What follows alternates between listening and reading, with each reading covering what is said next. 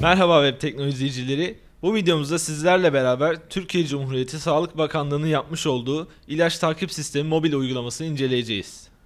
Uygulama aldığımız ilaçların sahte olup olmadığını denetliyor. Bunu nasıl yapıyor derseniz şöyle bir ilaç var elimizde.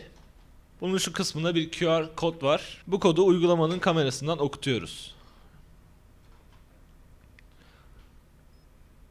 Gördüğünüz gibi okudu. QR kodu okuttuğumuz zaman ilacımızın sisteme kayıtlı olduğunu görüyoruz. Bunun dışında ilacın adı, barkod numarası, seri numarası, parti numarası, son kullanma tarihi ve ilacın güncel fiyatı da bilgiler arasında mevcut.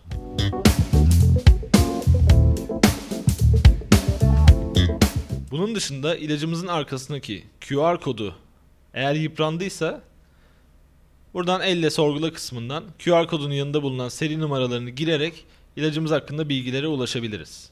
Uygulama şu anda iOS ve Android platformunda var. Windows Phone platformunda yok. Bizce bir diğer eksik de prospektüs bilgilerini ilacı okuttuğumuz zaman bize göstermiyor. Bunu halkın anlayabileceği bir dilde gösterseydi bu uygulama çok daha geniş kitlelere hitap edebilirdi.